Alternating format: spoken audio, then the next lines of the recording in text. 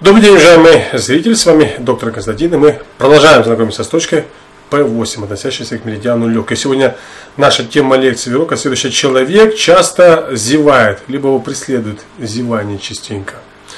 Что же нам говорит западная медицина и наблюдение людей? Итак, если человек часто зевает, у него ухудшение работы сердца и сосудистой системы. Сейчас мы все это расскажем, потихонечку не спешите, не забегайте вперед. Вот. Отсутствие мышечной деятельности может вызвать частые зевания. Вот. Частенько человек зевает при утомлении. Вот. В душевном, то есть в душном помещении, когда человеку не хватает кислорода либо свежего воздуха, это может что вызывать зевание. Ну и, конечно же, что зевание обновляет воздух в легких. Некоторые авторы пишут, и в этом есть доля очень большая правды, что зевание охлаждает наш с вами головной мозг.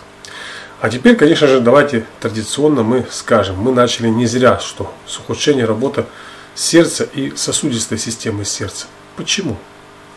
Ответ, потому что мы знаем, что дыхание обновляет сердце, обновляет кровь, и легочную артерию еще никто не отменял.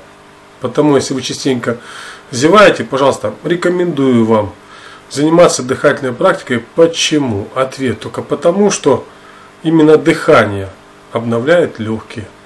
Если обновляется легкие, обновляется что? Сердце. Если обновляется сердце, сердце хозяин внутренних органов. Элементарно все просто. И зевание не будет доставать вас.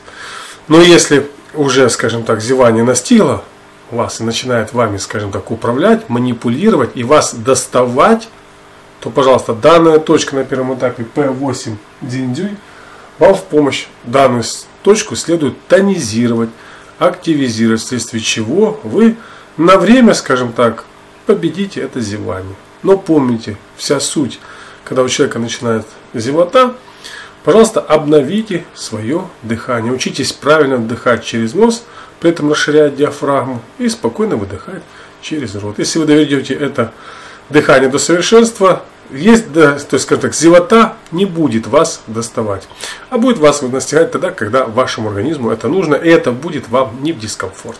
Спасибо за внимание.